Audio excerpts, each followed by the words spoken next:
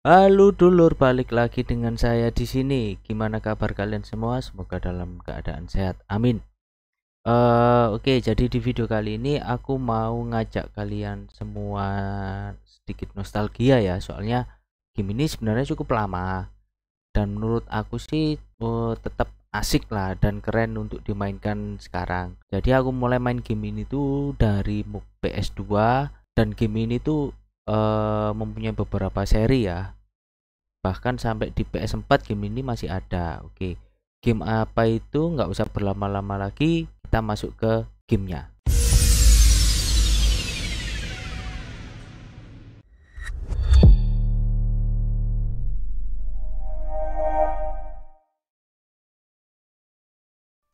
Oke, kita sekarang sudah masuk di dalam gamenya. Nah, ini dia Dynasty Warrior yang 8. Oke, jadi kali ini aku mau nunjukin caranya buat dapetin ini ya, nyelesain misi ini ya. Jadi ini setiap chapter ini beda-beda misinya. Nah, contohnya ini buat dapetin bintang, nyelesain misinya ini ngalahin lubu lalu selanjutnya ini. Nah ini seperti itu. Tapi aku nanti tunjukkan gimana cara nyelesain semua. Ini kebetulan ini aku udah dapet tapi nggak apa-apa lah. Aku ulangi lagi. Jadi misinya ini ngalahin lubu. Nah, oke lubu. Jadi lubu ini dia karakter paling OP ya. Dari semua serinya Dynasty Warrior ini dia paling OP banget is- karakter kuat lah sangar gitu loh A new world of my design shall emerge from the chaos. Oke. ya jadi sebelumnya ini aku udah nyelesain storynya ya story storyline-nya semua udah aku tamatin jadi tinggal nyelesain misinya Oke langsung aja immediately. Lubu, lubu. nah itu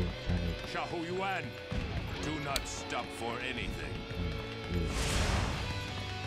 jika kalian belum pernah mainin game ini lor. waduh sayang banget ini game keren pokoknya buat aku ya. Menurut aku keren banget ini. Not paths.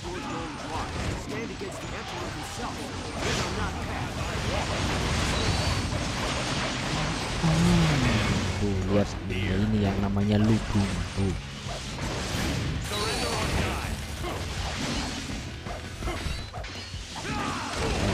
dia nggak gerak blas lur. Dipukuli gimana ya? Gimana nggak OP coba tuh.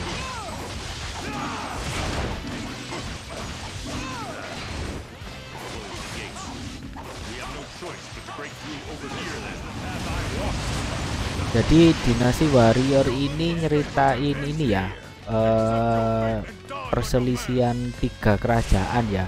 Ada W ada kerajaan W kerajaan Wu sama kerajaan Shu. Nah, ini aku milih yang kerajaan W. Nah karakter yang pa- yang aku pakai ini ini dia eh, rajanya ya raja dari kerajaan W itu tadi. Nah, misinya ini dia kabur sih setelah ditangkap sama Musuh. Ceritanya mau kabur. Nah, teman-teman jika masih bingung lubang ini lubu ini dari kerajaan mana? Jadi lubu ini dia sebenarnya stopped. apa ya prajurit bayaran gitu loh. Nah, dia dibayar sama si Dong Suwo ini. Nah, ini si Dong Suwo ini buat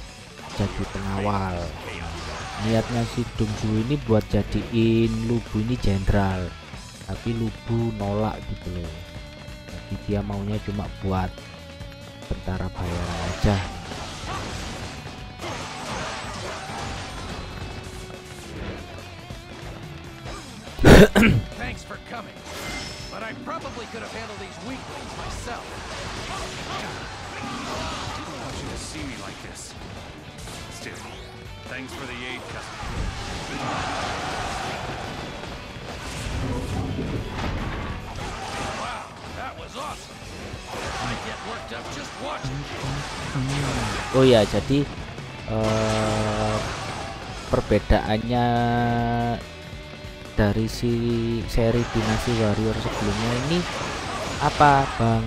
Jadi perbedaannya itu gini, yang pertama uh, kita di dinasti warrior ini bisa langsung milih ini ya disuruh milih dua senjata ya.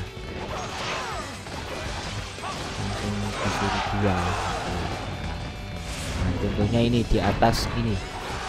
Darah darah yang warna biru itu nah itu kan bisa diganti senjatanya. Tuh bisa diganti satu bisa diganti dua gitu. Gitu, gitu. fungsinya apa bang nah fungsinya itu buat ganti senjata itu jadi kita pengaruh di elemen ini ya jadi contohnya. Nah, nah contohnya ini. At- di atas namanya surung ini kan ada tanda seru.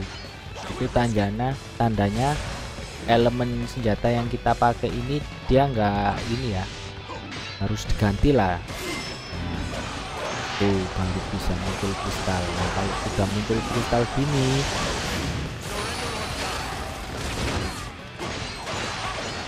Nah, kalau kristalnya dia habis, nah, nanti bisa kayak gini loh. Tuh, beneran. Bedanya salah satunya sih itu. Kedua, karakternya sih, karakternya dia di seri yang ke-8 ini lebih banyak sih karakter-karakter baru.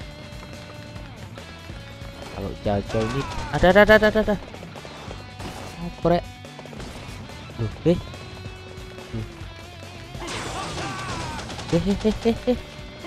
Eh, Jim. You've won. My Bisa be apa? Senjata ini nggak bisa dihancurin ini lur. Kita harus ngalahin jenderalnya ya.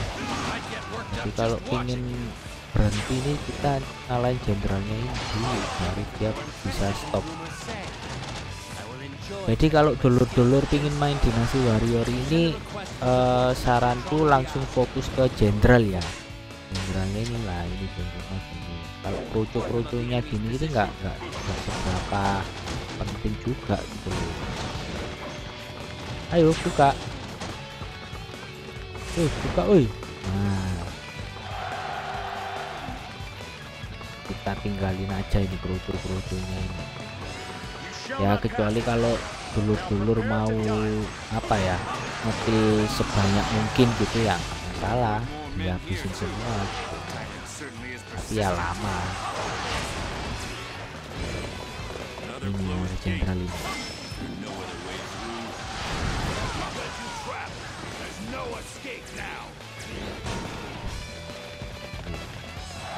oh ya game ini cocok buat dulur-dulur semua yang apa ya istilahnya buat pelampiasan lah.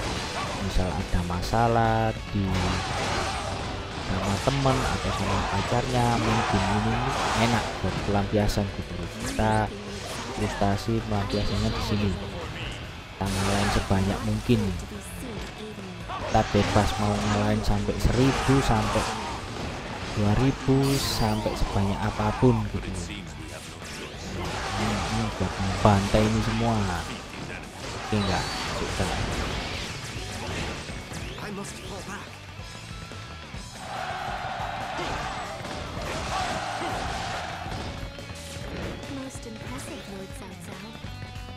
Dapat Wang Yu.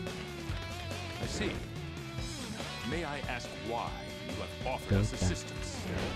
I will explain later. Please follow me. I will show you how to escape Lord Yang from the rear oh dia nolongin jalur dia nolongin ini buat melarikan diri jadi kalau di storynya storylinenya ini Diao Chan ini dia pacarnya si Lubu tadi ya dia pacarnya si Lubu Why are you Iya. Kok bantu ya? Zhuang? ini?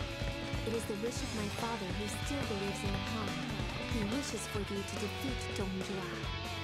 So, we must escape here. oh jadi ceritanya ini ayahnya si Diao Chan ini dibunuh sama Dong Zhuo nah dia pengen balas dendam tapi bingung nggak tahu.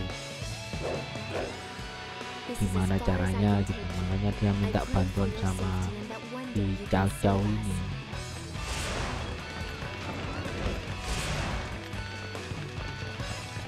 oke. Dong. Zhang Liao mana Zhang Liao maju kabeh. Ora mundur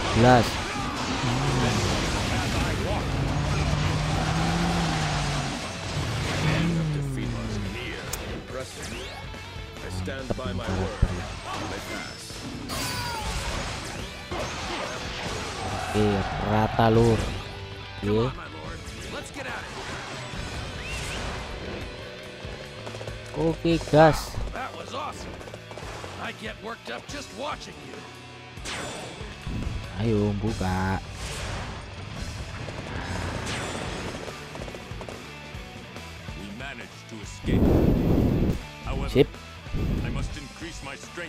if I am to defeat berhasil ya. Akhirnya bisa kabur. kabur. Setelah itu dia nanti balas dendam lagi buat nyerang si Dongsuo itu. Nah, berhasil nggak ini dapetin bintangnya? Terus sih sih berhasil ya. Coba dicek. Nah oke udah nyala ya.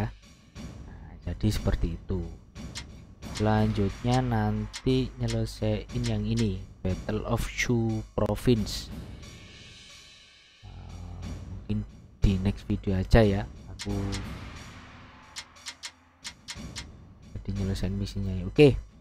Mungkin sekian dulu untuk video kali ini ya. Mudah-mudahan kalian semua terhibur. Dulur-dulurku semua. Oke. Sampai jumpa di next video selanjutnya. Bye bye